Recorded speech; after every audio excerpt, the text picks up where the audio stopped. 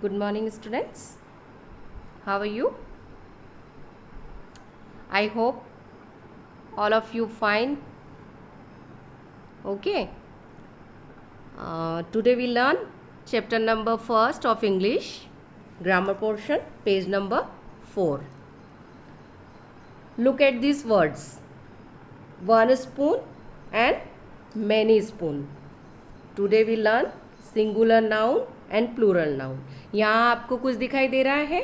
Singular noun के ऊपर एक स्पून दिखाई गई है मतलब एक स्पून और प्लूरल नाउन के ऊपर बहुत सारी स्पून दिखाई गई है मतलब मेनी स्पून्स ओके मतलब आपको समझ में आ रहा है कि सिंगुलर नाउन का मतलब होता है एक ही चीज़, और प्लूरल नाउन का मतलब होता है बहुत सारी चीज़ें. Okay so singular nouns definition is a singular noun names one person place और थिंग एक सिंगुलर नाउन वह होती है जिसमें किसी का नाम भी एक ही होता है, किसी पर्सन कोई पर्सन भी एक ही होता है, कोई स्थान और कोई वस्तु भी एक ही होती है।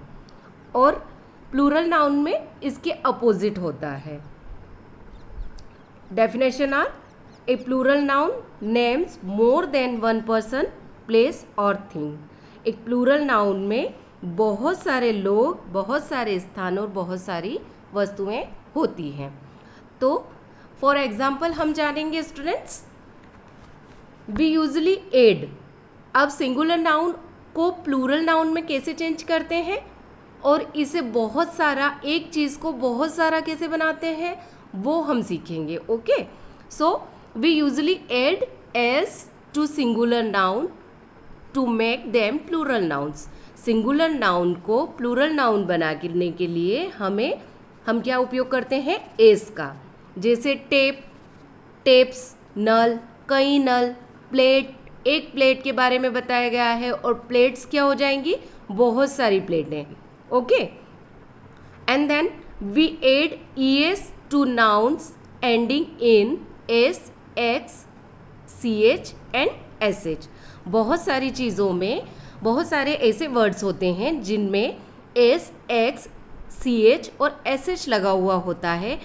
अंत में उनमें हम ई e एस का उपयोग करते हैं। जैसे for example bus buses bush bushes and then we add V S कुछ नाउन्स के अंत में हम वी एस का उपयोगी उपयोग भी करते हैं, जहाँ पर एफ़ या एफ़ ई लगा हुआ होता है। जैसे वुल्फ तो वुल्फ का क्या हो जाएगा?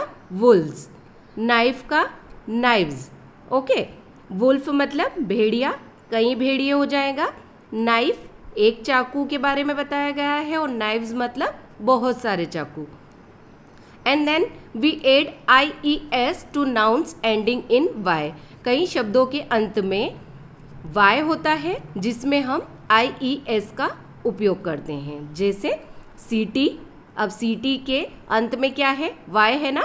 तो वाई के लिए हम क्या उपयोग करेंगे? आई ई एस का। तो वाई को हटाकर हम क्या लिख लेंगे?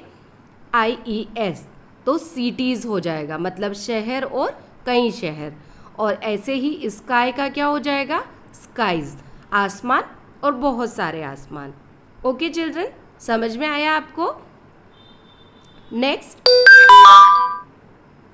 ए वाली जो एक्सरसाइज दी गई है जो एक्सरसाइज है उसे आप कंप्लीट कीजिएगा जो आपकी बुक में दी गई है write the plural forms of these nouns in nouns के आपको प्लूरल फॉर्म्स बनाने हैं ओके? बहुत सारा बनाना है।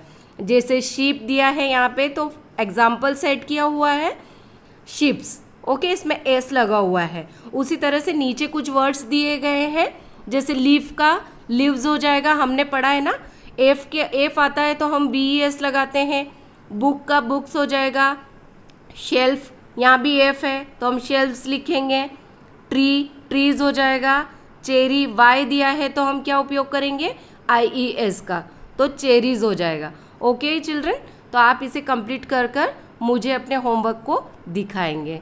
Okay have a nice day